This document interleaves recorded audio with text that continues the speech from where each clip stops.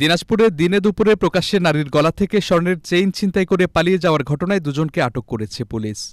বৃহস্পতিবার দিনাজপুর শেখপোড়া রেলঘুন্টি এলাকা থেকে তাদের আটক করা হয়। এ সময় ছিনতাই কাজে ব্যবহৃত একটি মোটরসাইকেল এবং গলিত স্বর্ণ ও নগদ টাকা উদ্ধার করা হয়। আটককৃতরা হলেন দিনাজপুর সদরের শেখপুরা রেলঘুন্টি এলাকার মোহাম্মদ আব্দুর রহমানের ছেলে আসাদুজ্জামান আকাশ এবং আব্দুল মান্নানের ছেলে মোহাম্মদ জুয়েল। শুক্রবার দিনাজপুর কোতোয়ালি থানায় এক সংবাদ সম্মেলনে এ তথ্য জানান অতিরিক্ত পুলিশ সুপার শেখ জিন্নাহ আল মামুন। তিনি জানান, ছাব্বিশ মার্চ মোসাম্মদ আরিফা ইসলাম নামে এক নারী অটোতে করে যাচ্ছিলেন।